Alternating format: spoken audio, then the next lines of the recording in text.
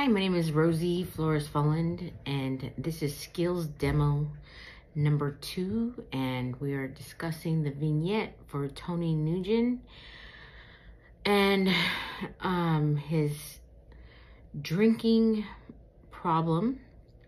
Um, he's married to Mary, and the questions uh, were that if I were his social worker, how would I describe the family?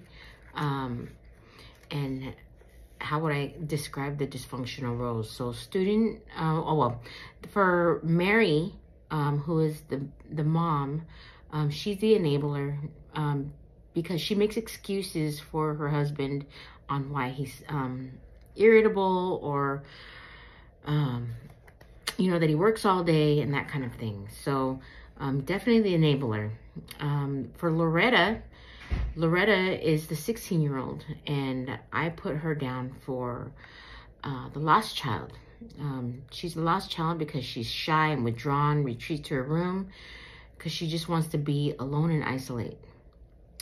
For Mark, I put him down for the hero, and um, I put Mark down for the hero because um, he, he reminds family um, that he's you know, got a varsity game, um, a basketball game.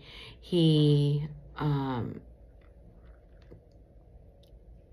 is trying to be um, good so that everybody can notice him and take, you know, withdraw their attention away from the negative. And um, he tries to make everybody happy, you know. So um, that's why he is the hero. That's why he plays the hero role. And then there's the, um, and then there's uh, Donnie. So for Donnie, um, yes, they blame Donnie for everything. He's the nine-year-old. Um, I put him down for the scapegoat, but I also put him down for the mascot because he's um, in school. He um, throws paper airplanes um, pouring juice on his teacher's lap, laptop makes, you know, tries to be the class clown.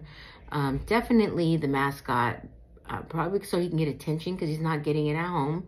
And everybody's blaming him at home for their issues. And really, he's just doing it because he's not getting the attention that he needs.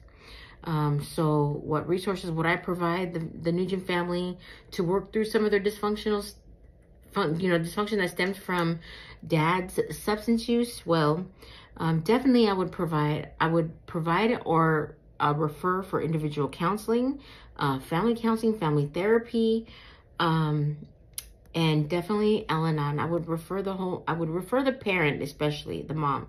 There's children's Al-Anon though, and there's children of alcoholic parents um, meetings. So I would definitely refer this family to all four of these individual counseling or therapy and or therapy, family counseling and or therapy, Al-Anon, um, children of alcoholics, and um, children for Al-Anon as well.